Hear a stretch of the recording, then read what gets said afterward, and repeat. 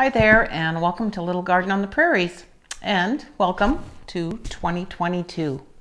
If you are new to my channel, my name is Tracy and my husband Preston and I are empty nesters slash full-time workers slash farmers living on the prairies in Saskatchewan, Canada. So we are now starting another new year and like most of us, I have all sorts of goals, ideas and projects I hope to conquer in the next 12 months and I want to share these things with you on my channel. I am also excited to be participating in the Canadian Seed Challenge 2022, which I will talk about later on in this video. So if you've been following along with me on my channel, you will know that right now I have been doing a lot of indoor gardening. Here on the prairies, our winters are very, very cold. So being able to continue growing fresh vegetables inside my home is a wonderful hobby that I so enjoy. And seeing all that beautiful green living vegetation, being able to eat fresh salads and cook with my own herbs is so satisfying. I have all sorts of tutorial videos on my channel on how you can grow your own food indoors using the Kratky hydroponic method. So be sure to check them out. Soon it will be time to start my winter sowing for the year. Winter sowing is a technique for planting seeds outdoors in the winter to give them a head start in spring. So using milk jugs or other similar type containers, I plant up flowers, herbs, and vegetables, place them outside in the snow, and these seeds lie dormant all winter and are ready to sprout the first chance they get in the spring. So this is a great method if you don't have much indoor space to start your seedlings for your garden. It involves very little maintenance and hopefully in late spring you will have some healthy, naturally hardened off seedlings that you can add to your garden. So again, I have several videos on this method on my channel and we'll be making more starting in February, so stay tuned for those. And of course, I'm also looking forward to starting some seedlings in my indoor space for my outdoor garden this spring. I like starting tomatoes, peppers, variety of different annual flowers indoors. And usually I plant way too many, but that's okay because I can always give them to somebody else for their garden.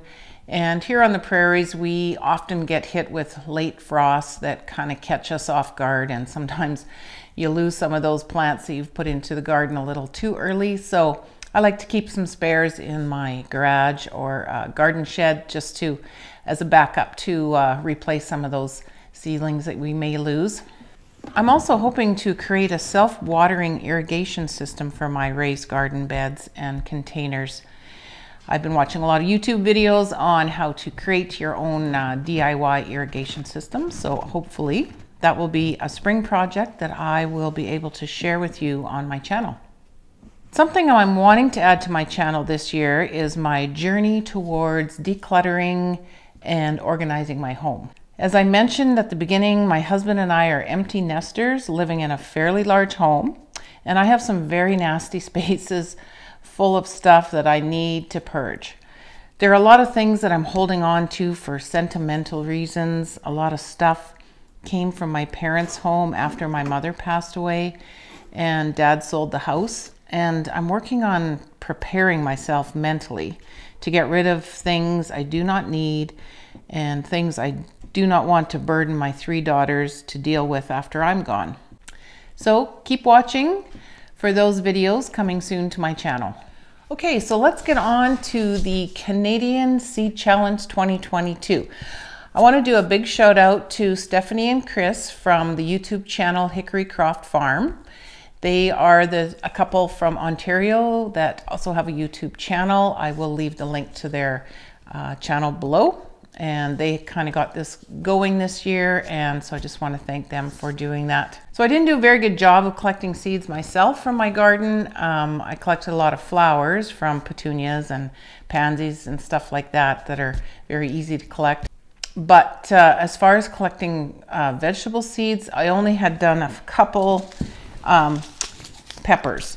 So if anybody's interested, I have a lot of seeds from Sweet Italian peppers. And again, thank you to Stephanie and Chris because they sent me these seeds last year in our seed challenge. and I planted some of these outdoors. They were turned out really good and got a lot of seeds collected from them. The other seed that I have a large abundance of is a paprika pepper. Think you can see them here. They're yellow in the picture, but when I grew them last year, I, I let them ripen to a beautiful red and I dried them and ground them up and made you know a nice jar of paprika pepper spice for my spice cupboard out of them.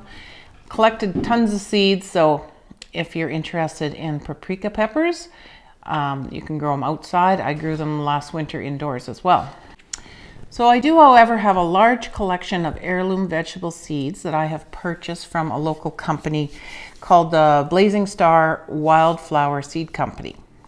So this is a family owned and operated seed company based in Aberdeen, Saskatchewan, which is just a small little town not too far from where I live. And they offer prairie wildflower seeds, wildflower mixes for pollinators, and heirloom vegetable seeds. So I will leave a link to their website below. But I have a lot of seeds that I have purchased from this company that I would love to share if anyone is interested. So I think some of the people on the challenge have mentioned uh, interest in cucamelon. So I do have some of those. I um, tried growing these last year, but I don't think they turned out very well. Um, I put them in with my regular cucumbers and they kind of got choked out. So I'm going to try them again this spring, uh, probably in a container. See if I can get some cucamelons going. This is another one that I am hoping I have success with next year. I have planted three or four different types of squashes last year and didn't have much luck with them producing fruit. Don't know why, but I'm going to try again. This is called the Burgess squash and it is got a taste kind of similar to a sweet potato.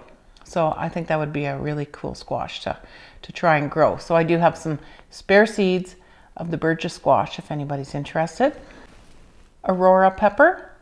I have one growing here in the back. Um, it is a nice house plant and it produces these small little uh, peppers that turn different colors. They're very pretty. They are kind of a medium, medium hot pepper. So if anybody interested, got some of those. And I also have a variety of tomatoes that I could spare some seeds. One is called the Dwarf Wild Fred, a Fargo Yellow Pear, and Black Cherry. So if anybody's interested in those, just let me know in the comments below.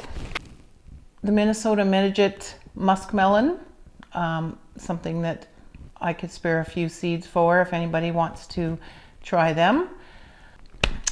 So as far as my wish list for 2022, I don't have a, a very big one, um, but I am specifically looking for a couple kinds of tomatoes that I really like, and that's just a, a beefsteak type tomato.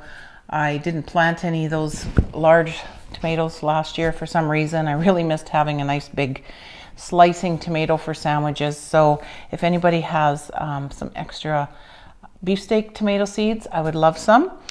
I'm also looking for a, a small sized cherry tomato known as the Sungold cherry tomato.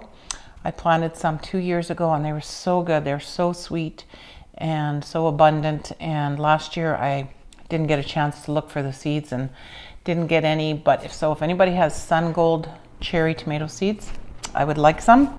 Another thing that I'd really like to try out that I've seen a lot of videos on and um, I think would be hardy and easy to grow here in zone three, which is what I live in here in, on the prairies, and that is uh, ground cherries. So um, I've seen other Canadians planting them and they sound like they'd be really cool and delicious to grow. So ground cherry seeds, anybody got some, let me know. And I'm also looking for a very specific cucumber seeds. They are called the parthenocarpic cucumbers. So those are the cucumbers that only produce female flowers. So you don't really need to pollinate them and I'm looking for them specifically to use in my indoor garden so that I can grow cucumbers in the winter and not have to worry about pollination indoors. And I've been trying a Diva uh, strand of seed this winter not not the best success. So I'm just looking for some other kinds that I've researched. Um, some of them include Socrates, Sweet Success, Tyria, Katrina, or Piccolini. So if anybody happens to have some of those seeds or can direct me to a company in Canada that maybe I can find those seeds online and purchase, I would love if you would let me know in the comments. Okay, so that wraps up my first video of 2022. I have got just a head full of ideas and projects and things I want to try, uh, new things to grow, new techniques to try in the garden, and of course a whole list of projects um, that I'd like to complete in my house and in my yard. So I hope you will continue to follow along with me on my channel and check out some of my other videos. I want to wish everyone a happy new year in 2022 and we will see you on the next video.